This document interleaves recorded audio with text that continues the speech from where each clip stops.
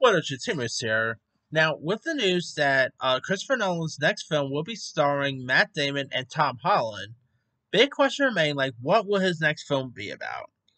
Well, there is now a rumor going around uh, by Gizmodo, I think I pronounced that right, uh, who's very reliable at times, uh, pretty much saying that Christopher Nolan's next film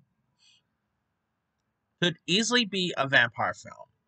Uh, now, Gizm- Gizmodo, um, a reliable, popular uh, tech site, has kind of buried the um, lead in their um in their Holland slash Nolan uh, casting. They got word from reliable sources that Nolan's next film is apparently going to be a vampire movie set in the 1920s.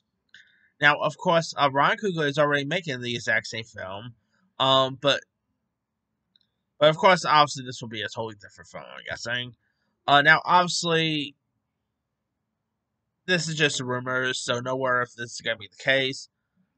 But let's go out junk just say that this will that his next film will be a vampire film from 1920s.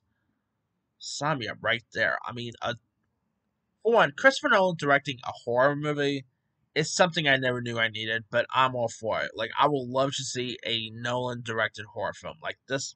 This could be really cool. Now, again, I don't know who Tom Holland or uh, Matt Damon's going to play. I don't even know if Cillian Murphy's going to be in this. Uh, obviously, he'll most likely be getting most of his uh, cast members involved with this too. So it's going to be interesting to see here. I mean, a note like if true, obviously, I'm on down with it.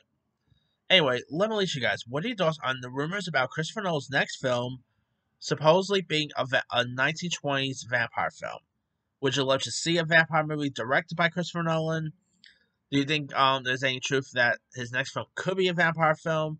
And are you looking forward to check out Nolan's next movie in general? Drop comments below. Don't forget to like, subscribe, hit that bell for notification. This is Timmy.